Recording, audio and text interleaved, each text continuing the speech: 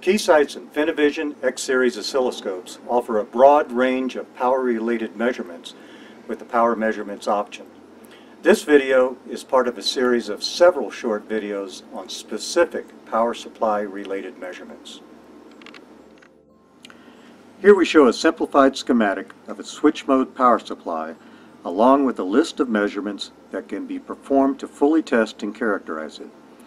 In this video demonstration, we'll focus on performing modulation analysis of this power switching device, which is highlighted in green here. For our demonstration, we'll be using Keysight's switch mode power supply demo board. This is the same DUT that we use in many of our hands-on workshops around the world. The first task in making a modulation analysis measurement is to probe the gate terminal of our switching device. The gate pin is not normally accessible on this particular demo board, so I have removed the protective clamshell cover so that I can directly probe the gate terminal with a standard 10 to 1 passive probe. Let's start making measurements. I'll begin by pressing default setup. Then I'll bring up the analyze menu, which there's actually a front panel direct access key and then select the power application. Under analysis you can see a list of all the specific power supply measurements that are available on this scope if it has the power option. And we also have videos on all these. But what we're going to show right now is modulation analysis. Next, I'll select which specific modulation analysis we want to do. And in this case, I want to run modulation analysis on duty cycle since my switcher is a duty cycle based uh, switching power supply. Let's go into signals. Here you can see a diagram gives you some helpful hints on how to connect your probes. This uh, diagram actually shows the current probe connected and then the, um, the voltage probe connected to the gate of our transistor. That's where everything is being modulated to regulate the voltage. I don't have a current probe connected uh, I don't care about doing modulation analysis on the current. I only have a voltage probe from channel 1 connected to the gate. So at this point we're going to select auto setup. The scope will automatically set up the time base and the vertical for optimum scaling and this is our gate signal. Let's zoom in and take a look at it a little bit. In the background there you can see the uh, channel 2 which is the current waveform. Nothing's connected so just ignore that. And so here you can see the duty cycle of switching and you can see some modulation going on here.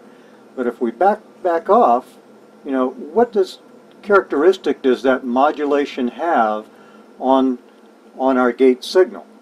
And so what we can do is run modulation analysis and find out. To perform a modulation analysis of the duty cycle simply press apply and it turns on a waveform map function. In this case it's called the measurement trend. This is a plot of duty cycle on the vertical axis versus time on the horizontal axis. And it also measures the maximum duty cycle 23.7% and the minimum about 20.3 uh, or 20.4%. Now the plot of the duty cycle is not synchronous with the um, gate signal. It looks asynchronous. So let's press stop to freeze everything on screen. And here we can see we have an approximate sinusoidal modulation. Uh, so here's our max uh, duty cycle 23.8 and our min is probably down here about 20%. So what is the frequency of this modulation? Well there's a couple ways I could do it. Easiest is uh, to probably bring up the, the cursors, put it in a manual mode. Now I'm just going to position the cursors to measure approximately one period. And we have uh, 1 over delta t about 1.4 kilohertz. So perhaps something is coupling in to the output, going back in through the feedback path, and then modulating uh, our regulation uh, with about a 1.4 kilohertz modulation rate.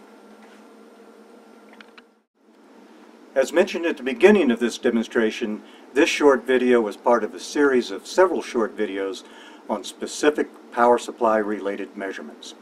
To learn more about InfiniiVision X-Series oscilloscopes and how they can help you test and debug your power supplies, contact your local Keysight authorized distributor and ask for a demonstration.